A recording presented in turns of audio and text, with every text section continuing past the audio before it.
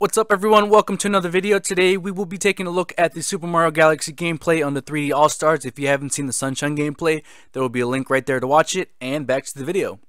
Alright, so now we are going to do Mario Galaxy. I am on Battle Rock Galaxy right now, um, getting one of the stars. I'm really enjoying Mario Galaxy. I mean, again, you know, this is a game I never got to play as a kid, like other than one level or a couple levels so this is new to me you know and I think it controls beautifully like I use the Pro Controller and I can use this you know it substitutes the nunchuck or whatever and the cool thing about this is I was kind of worried that it wouldn't work without a Wii remote you can point and everything. Oh snap what am I supposed to this works you can still you can shake the remote if you want to do all these spins and stuff uh, you can also have the manual button which is always great to have that option and then you can also uh, recenter your controller anytime. If you're like laying down, sometimes you have to realign it. Oh, damn it. You have to realign it because you can't see.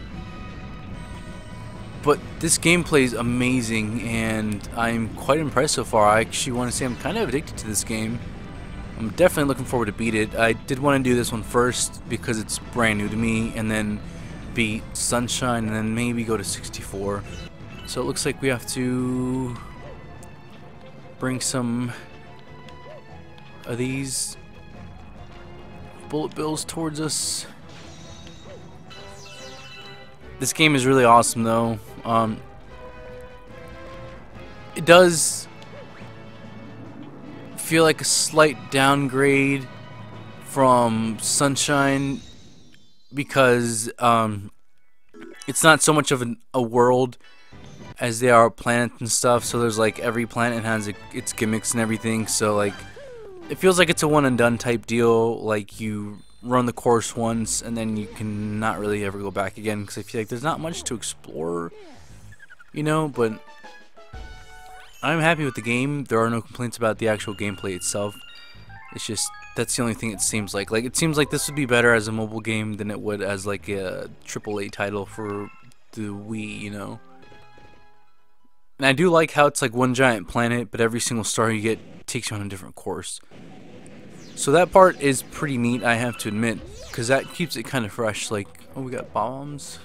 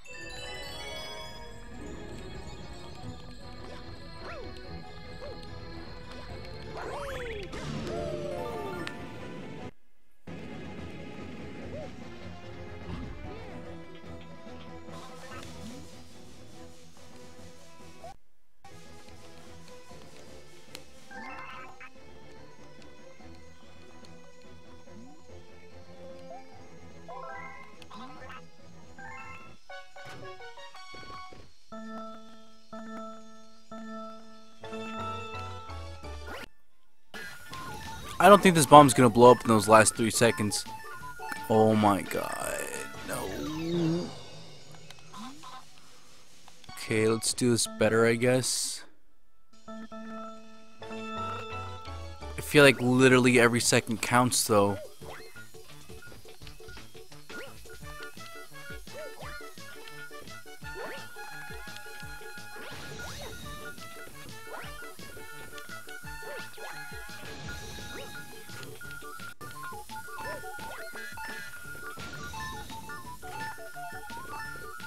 Beautiful.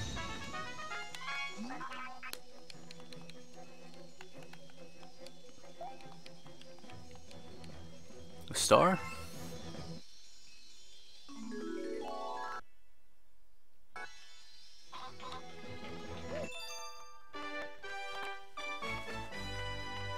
So that's your little taste of Super Mario Galaxy.